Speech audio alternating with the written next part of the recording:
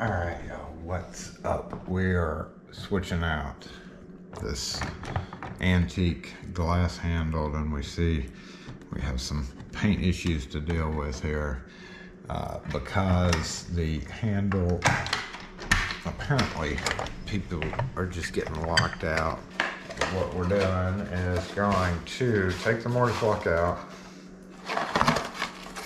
and put in a wrap plate, which I hate doing, but when a customer wants it and knows what it's gonna look like, that's just what you do. So we have a white wrap plate, but it's actually kind of a chrome color. Uh, well, and that's satin nickel, so it's, not gonna be a terribly great match, but it is what it is type of thing. So this is an inch and 3 eighths door. And I actually didn't have an inch and 3 eighths in chrome. So first I just want to see, it's gonna just cover up this pretty much, pretty much perfectly. So let's go ahead and get this off the door, which can be a challenge in itself. I did come last week to look at the situation and uh, just tighten these knobs back on, but you can see they're floopy. We could source uh, another mortise lock, but kind of at this point in time, we're just at the point where it's just best to go ahead and redraw it. There's no real security concerns here because we do have the deadbolt above it. Uh, but uh, let's go get this guy out so it doesn't give us any trouble.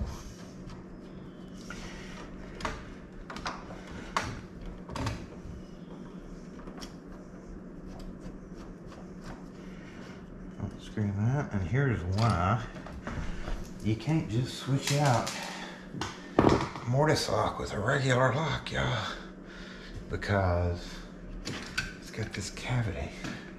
See that deep, that deep cavity right there? You got this deep kind of cavity area right there uh, that gives it kind of a weak point, you know?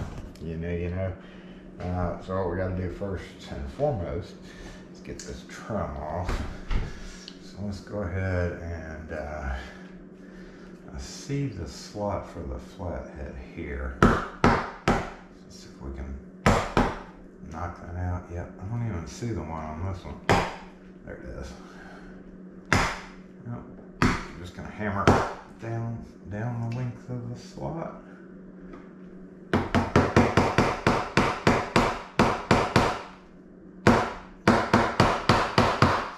Now you may want to go around it, but believe it or not, this plate underneath all this paint is probably in okay condition. And uh, these types of things are kind of valued nowadays, depending on what it's made of, of course. So let's see if we can get the guy off with minimal damage.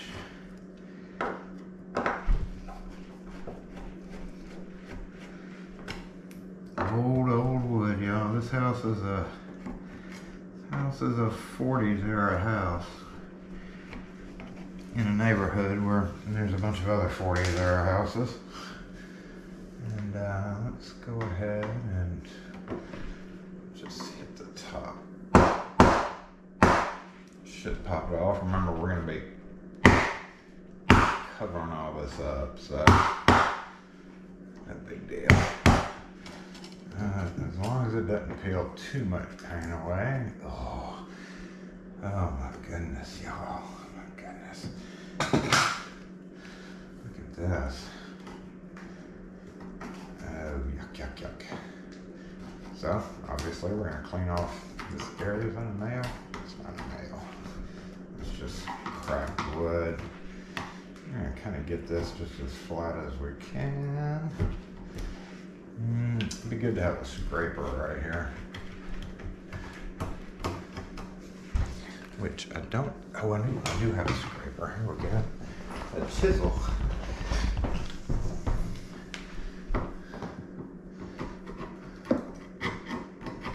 Yeah, I just want to get that smooth.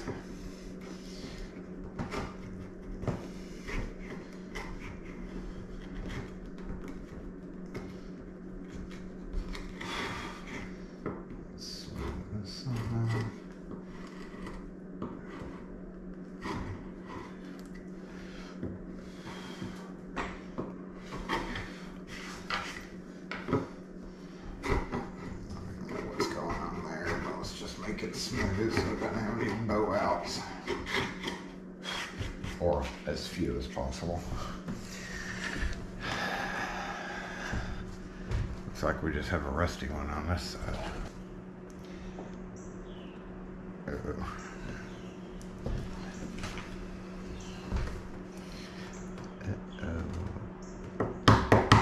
Rusty ones may actually present more of a problem. Nope, yep, yep, yep. Oh, nope. Just kind of trying to get this in the slot. There we go. Oh, you're just, they're ready to unscrew. I think this rusty fella is destined for lots we lost this way. What you think? What you think? What you think?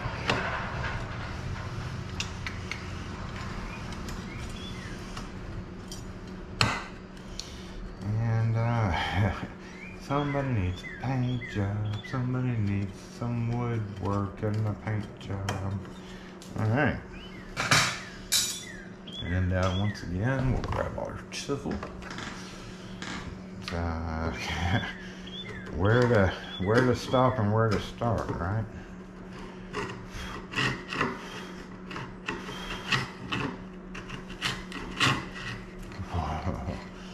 Oh, this is actually this is actually going to help this. This edge is pretty rough.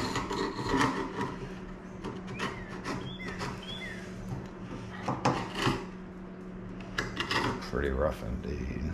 All right, time to grab our wrap plate and see what see what it's gonna look like. Uh, now, I will point out we have a strike plate here. There. Yep. Ideally, we want to go ahead and get that centered on that.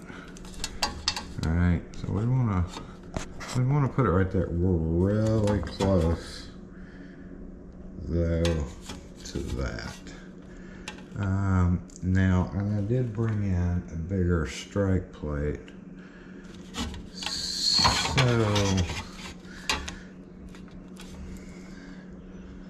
I'm thinking, how much of a gap do we have to chisel out a lot for that strike plate. So we move it up, right about there, that's just a shame. that that didn't cover that up. Obviously the door needs to be painted so you could just claim it off as needing needing paint. But just for sake of argument, let's just center it and move the plate. But not without getting a good look at this guy. We have serious issues right there. And you know what? If we drop it, we could start it here. This is all broken out, so we can actually we can actually have ourselves enough of a gap to, to drop that the two two what about an inch. I think that's what we're gonna do. This is not great. So that's what we're gonna do. Got a bunch of nails we gotta deal with though, and this is gonna break when we do it. So whenever I'm putting uh, wrap plates on. Here's a little trick for you. Go ahead and separate it either with a knife or whatever. Just tear it. I usually just tear it. Okay. Bust open the cardboard wrapping. And then we're going to equally half it. Just about equally. And then we're going to fold it. Yep, just like that fold it in half, and then we're gonna fold this in half. Look at how much room the door has. So if it's got a big gap, we could fold it one more time. As of right now, I think that's good. So we want to do the same thing and do it with the cardboard out so you don't, uh, you know, so you don't get print on the wall. come on out a little bit further here and here. Just like that. Yep. Okay. Good to go there. That's the hardest hardest part of dealing with this. Now let's go ahead and mark our plate. I did not bring a pen in, so we're just gonna have to wing this.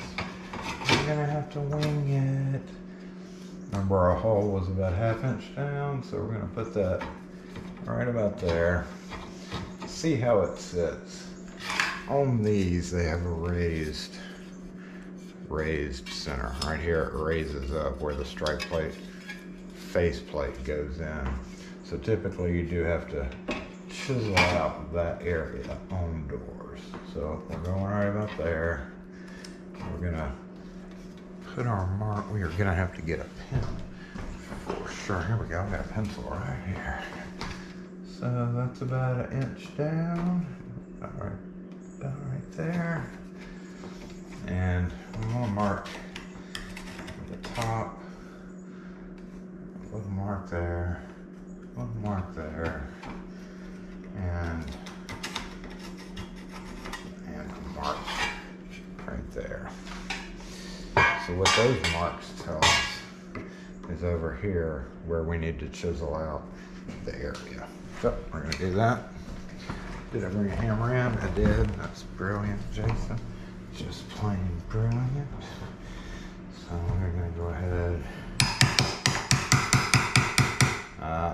Have to do this on a thicker door.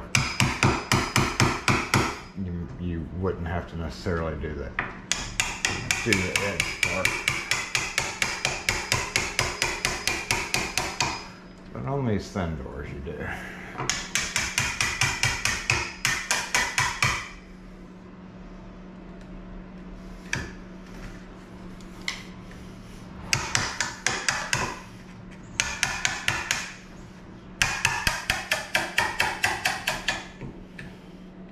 And we have some broken, broken pieces right there anyway, so no biggie taking that off. It was about to fall off on, it, on its own. That's already broken down, so yeah, that actually should be it.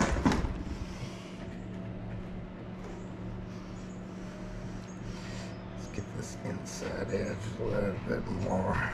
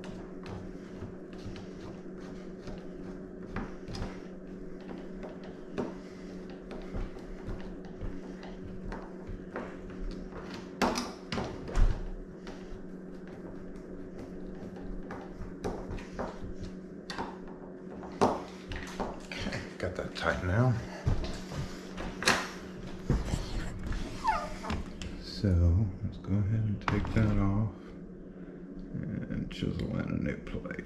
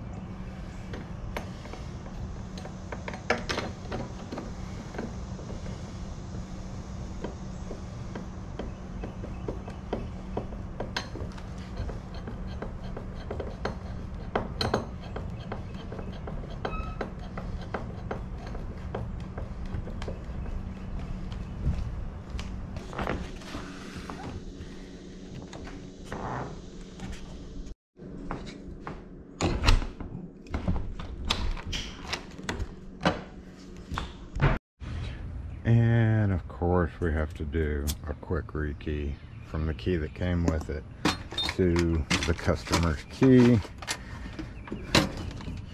Uh, and let's uh, knock that out real quick. Schlage F series.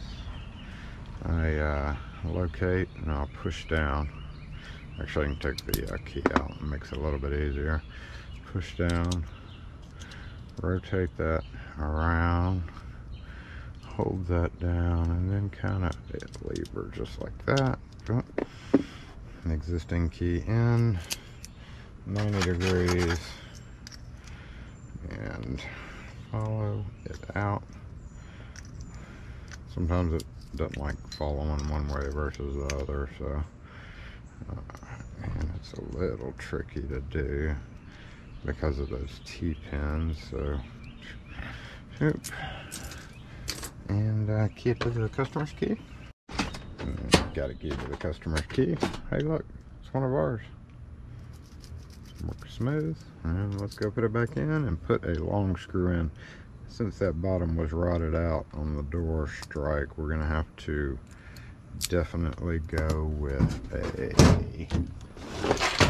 longer screw with a large head, which would be the Schlage. Make perfect make perfect ones of those. So, there we go. Should be all done now.